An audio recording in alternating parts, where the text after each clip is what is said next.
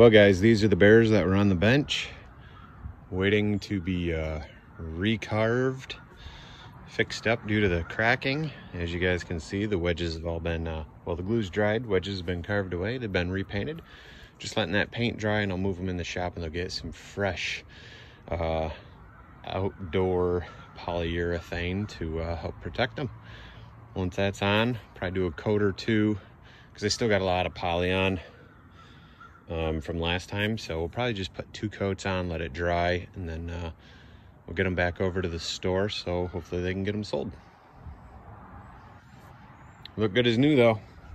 This is where a crack was. Came all the way up through. Uh, this guy's crack was over here.